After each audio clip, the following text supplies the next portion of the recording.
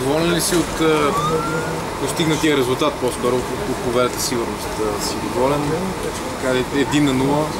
До, достатъчно ли е според теб за реванш след седмица? Еми ще видим след седмица е достатъчно. Но този етап сме доволни всички.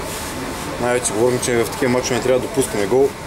И много ще хубаво, ако вкараме повече, но един мисля, че и се надявам да ни е достатъчно да продължим напред. Имаш някакво леко притеснение, все пак първи матч от доста години, собствена публика? Мисля, че имаш първите минути, видяхте и особено първото време, че не играхме това, което може би трябваше. Имаше притеснение, защото изритвахме повече топки. И второто стабилизирахме нещата и ни се получиха. Треньорът? Състав без централна нападател, доста футболисти. Как ви се стори на вас тактика на трябва иска да играе по-офанзивно? Не, ЦСКА трябва да продължава напред. По-офанзивния футбол. Виждаме, че на световното не е печеливш. Играеш офанзивно, вкарват и гол.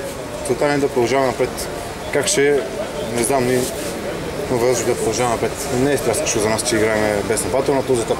Това е положението. Надявам се следващите седмици да, да вземем нападател и да имаме изявен такъв.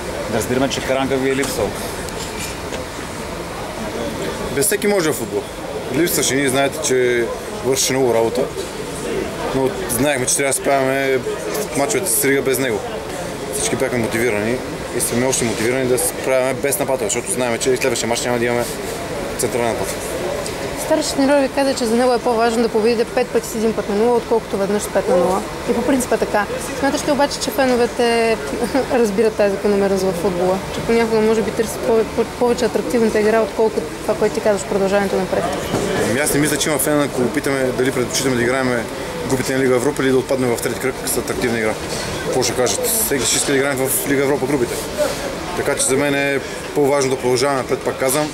И аз предпочитам да е с 1 5 мача, колкото 5 0. Атрактивният футбол виждате, че на такива турнири наистина не е печеливш. Просто трябва да си много силен назад и да си вкараш малкото положение, което имаш. Това е истина. Какво очакваш от гостуването ви в Рига и смяташ ли, че отбора културните има с какво да ви изненада? Ами очаквам и наистина тежък реванш.